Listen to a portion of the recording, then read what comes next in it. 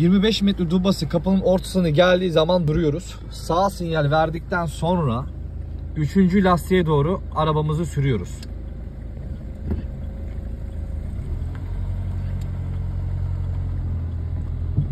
Üçüncü lastiğe yaklaştıktan sonra arabamızı sola doğru çevirip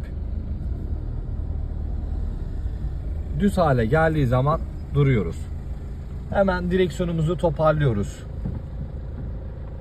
Sonra sağ taraftan lastiklere bakarak yarım tur kırarak, çeyrek tur özür diliyorum. Çeyrek tur kırarak arabamızı lastiklere doğru yanaştırıyoruz.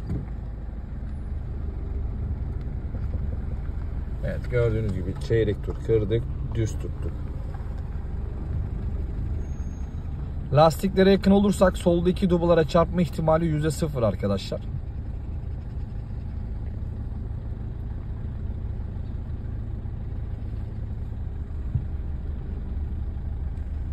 Karşımızda hemen aynamızdan baktığımızda bir duba görüyoruz. O dubayı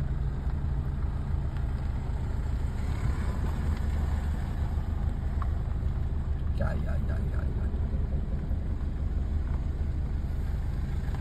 Dubayı gözümüzün ucuyla durabilirsin. Burada gördüğümüz an duruyoruz ve sola sinyal verip çıkışımızı gerçekleştiriyoruz.